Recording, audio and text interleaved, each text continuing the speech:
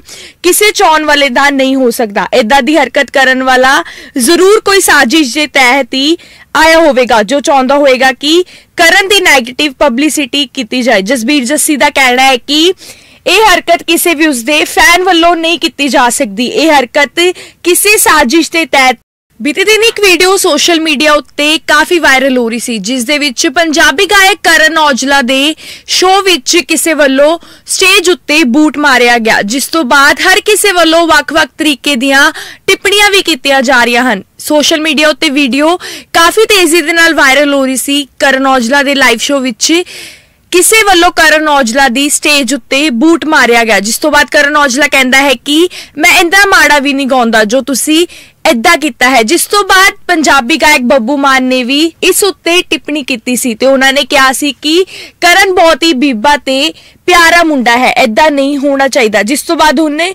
ਪੰਜਾਬੀ ਗਾਇਕ ਜਸਬੀਰ ਜੱਸੀ ਵੱਲੋਂ ਵੀ ਇਸ ਉੱਤੇ ਪੋਸਟ ਸਾਂਝੀ ਕੀਤੀ ਗਈ ਹੈ। ਜਸਬੀਰ ਜੱਸੀ ਵੱਲੋਂ ਕਿਹਾ ਗਿਆ ਕਿ ਕੈਰੀਅਰ ਦੇ ਸਿਖਰ ਉੱਤੇ ਚੱਲ ਰਹੇ ਗੀਤਾ ਦੀ ਮਸ਼ੀਨ ਦੇ ਸ਼ੋਅ ਦੌਰਾਨ ਜੁੱਤੀ ਸੁੱਟਣ ਦੀ ਘਟਨਾ ਦੀ ਜਿੰਨੀ ਨਿੰਦਿਆ ਕੀਤੀ ਜਾਵੇ, ਘੱਟ ਹੋਵੇਗੀ। ਪਰ ਇਹ ਘਟੀਆ ਕੰਮ ਕਿਸੇ ਚਾਹਣ ਵਾਲੇ ਦਾ ਨਹੀਂ ਹੋ ਸਕਦਾ। ਇਦਾਂ ਦੀ ਹਰਕਤ ਕਰਨ ਵਾਲਾ ਜ਼ਰੂਰ ਕੋਈ ਸਾਜ਼ਿਸ਼ ਦੇ ਤਹਿਤ ਹੀ ਆਇਆ ਹੋਵੇਗਾ, ਜੋ ਚਾਹੁੰਦਾ ਹੋਵੇਗਾ ਕਿ ਕਰਨ ਦੀ 네ਗੇਟਿਵ ਪਬਲਿਸਿਟੀ ਕੀਤੀ ਜਾਏ। ਜਸਬੀਰ ਜੱਸੀ ਦਾ ਕਹਿਣਾ ਹੈ ਕਿ ਇਹ ਹਰਕਤ ਕਿਸੇ ਵੀ ਉਸਦੇ ਫੈਨ ਵੱਲੋਂ ਨਹੀਂ ਕੀਤੀ ਜਾ ਸਕਦੀ। ਇਹ ਹਰਕਤ ਕਿਸੇ ਸਾਜ਼ਿਸ਼ ਦੇ ਤਹਿਤ ਹੀ ਕੀਤੀ ਗਈ ਹੈ। ਪੰਜਾਬੀ ਇੰਡਸਟਰੀ ਵੱਲੋਂ ਵੀ ਕਰਨ ਔਜਲਾ ਦੀ ਲਾਈਵ ਸਟੇਜ ਉੱਤੇ ਬੂਟ ਸੱਟਣ ਦੇ ਮਾਮਲੇ ਉੱਤੇ ਅਲੱਗ-ਅਲੱਗ ਤਰ੍ਹਾਂ ਦੀਆਂ ਪੋਸਟਾਂ ਸਾਂਝੀਆਂ ਕੀਤੀਆਂ ਜਾ ਰਹੀਆਂ ਹਨ। ਬੀਤੇ ਦਿਨੀ ਬੱਬੂ ਮਾਨ ਵੱਲੋਂ ਵੀ ਇਸ ਉੱਤੇ ਕਿਹਾ ਗਿਆ ਸੀ ਕਿ ਕਰਨ ਬਹੁਤ ਹੀ ਬੀਬਾ ਮੁੰਡਾ ਹੈ।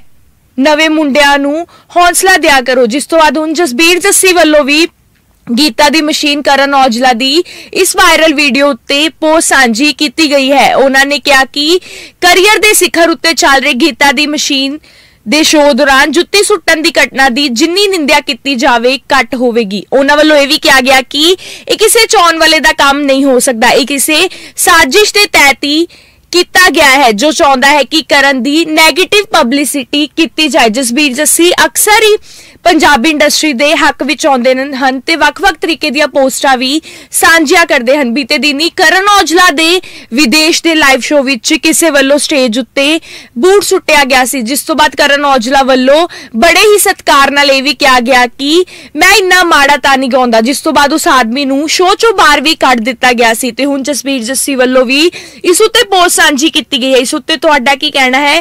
ਕਮੈਂਟ ਬਾਕਸ ਵਿੱਚ ਜ਼ਰੂਰ ਦੱਸੋ। ਬੀਤੇ ਦਿਨ ਇੱਕ ਵੀਡੀਓ ਸੋਸ਼ਲ ਮੀਡੀਆ ਉੱਤੇ ਕਾਫੀ ਵਾਇਰਲ ਹੋ ਰਹੀ ਸੀ, ਜਿਸ ਦੇ ਵਿੱਚ ਪੰਜਾਬੀ ਗਾਇਕ ਕਰਨ ਔਜਲਾ ਦੇ ਸ਼ੋਅ ਵਿੱਚ ਕਿਸੇ ਵੱਲੋਂ ਸਟੇਜ ਉੱਤੇ ਬੂਟ ਮਾਰਿਆ ਗਿਆ, ਜਿਸ ਤੋਂ ਬਾਅਦ ਹਰ ਕਿਸੇ ਵੱਲੋਂ ਵੱਖ-ਵੱਖ ਤਰੀਕੇ ਦੀਆਂ ਟਿੱਪਣੀਆਂ ਵੀ ਕੀਤੀਆਂ ਜਾ ਰਹੀਆਂ ਹਨ। ਸੋਸ਼ਲ ਮੀਡੀਆ ਉੱਤੇ ਵੀਡੀਓ ਕਾਫੀ ਤੇਜ਼ੀ ਦੇ ਨਾਲ ਵਾਇਰਲ ਹੋ ਰਹੀ ਸੀ, ਕਰਨ ਔਜਲਾ ਦੇ ਲਾਈਵ ਸ਼ੋਅ ਵਿੱਚ ਕਿਸੇ ਵੱਲੋਂ ਕਰਨ ਔਜਲਾ ਦੀ ਸਟੇਜ ਉੱਤੇ ਬੂਟ ਮਾਰਿਆ ਗਿਆ, ਜਿਸ ਤੋਂ ਬਾਅਦ ਕਰਨ ਔਜਲਾ ਕਹਿੰਦਾ ਹੈ ਕਿ ਮੈਂ ਇੰਦਾ ਮਾੜਾ ਵੀ ਨਹੀਂ ਗਾਉਂਦਾ ਜੋ ਤੁਸੀਂ ਏਦਾਂ ਕੀਤਾ ਹੈ। ਜਿਸ ਤੋਂ ਬਾਅਦ ਪੰਜਾਬੀ ਗਾਇਕ ਬੱਬੂ ਮਾਨ ਨੇ ਵੀ ਇਸ ਉੱਤੇ ਟਿੱਪਣੀ ਕੀਤੀ ਸੀ ਤੇ ਉਹਨਾਂ ਨੇ ਕਿਹਾ ਸੀ ਕਿ ਕਰਨ ਬਹੁਤ ਹੀ ਬੀਬਾ ਤੇ ਪਿਆਰਾ ਮੁੰਡਾ ਹੈ, ਏਦਾਂ ਨਹੀਂ ਹੋਣਾ ਚਾਹੀਦਾ। ਜਿਸ ਤੋਂ ਬਾਅਦ ਉਹਨੇ ਪੰਜਾਬੀ ਗਾਇਕ ਜਸਬੀਰ ਜੱਸੀ ਵੱਲੋਂ ਵੀ ਇਸ ਉੱਤੇ ਪੋਸਟ ਸਾਂਝੀ ਕੀਤੀ ਗਈ ਹੈ। ਜਸਬੀਰ ਜੱਸੀ ਵੱਲੋਂ ਕਿਹਾ ਗਿਆ ਹੈ ਕਿ ਕੈਰੀਅਰ ਦੇ ਸਿਖਰ